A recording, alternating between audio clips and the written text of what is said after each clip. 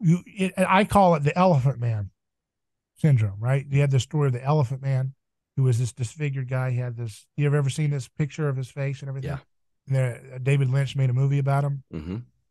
and he said, "I am not an animal." You know that was a famous line, and he was paraded around in a freak show, an event. You know they paraded around at different circuses, and the left wants to take the elephant man of our society and say Yes.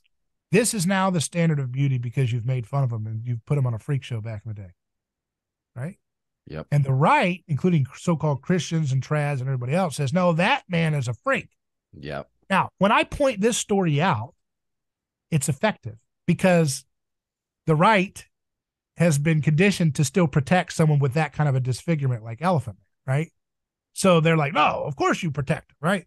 But they've been they've been trained because again, they react to the leaders of their desires to to do the same thing to other people who are obese or whatever, going through gender confusion or whatever.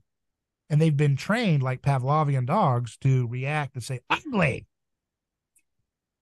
disgusting, be beautiful, you know, and you're like, okay, well, you're not following Christ, okay? You're part of the problem. Yeah. You're just as much of a blind idol idolatrous person as the person that you're reacting to. Yeah.